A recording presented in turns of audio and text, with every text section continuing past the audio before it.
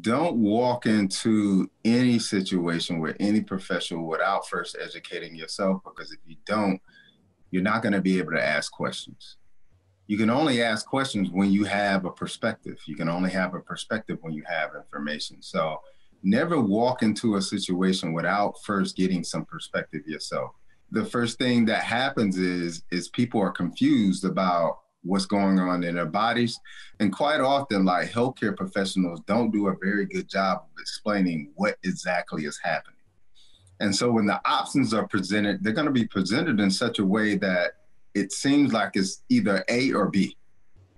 And in many cases, A is take this drug or B suffer. It's really not anything in between. Like most unfortunately, most healthcare professionals aren't going to give you any holistic advice, and most time people are going to want want to take a natural route in their brain or want to take the route where they can fix themselves. But that is not the information that you're going to get, unfortunately, from a healthcare professional because they don't teach us that. They don't teach us how to teach you self care. Okay.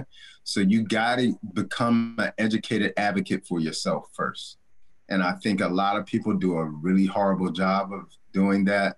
And so you first have to find people like yourself, like me, who are going to first give you some level of education that when you walk into a situation that you at least have some inkling of what could be going on and you know the right questions to ask before you go down some rabbit hole.